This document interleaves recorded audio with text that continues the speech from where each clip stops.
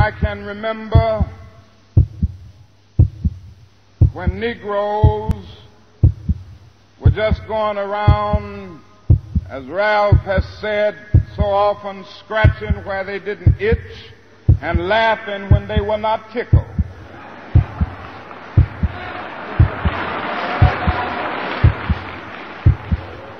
But that day is all over.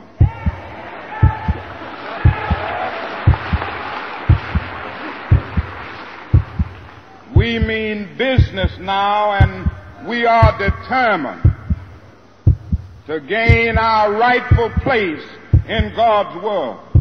The saddest thing for me is to see a mother cry over her child.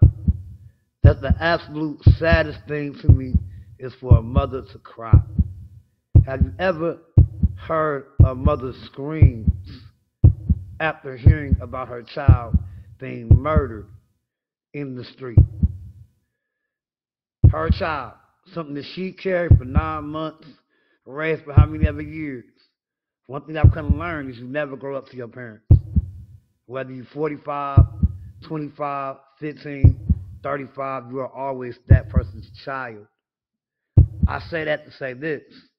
In black society, as long as we are beholden to snitch and cooperation and not knowing the difference between being a snitch and not knowing the difference between cooperating for the betterment of your whole group or your whole town or your whole area.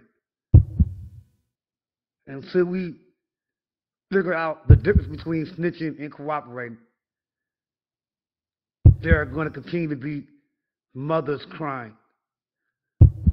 Our kids are going to continue to be slaughtered in the streets because silence is compliance.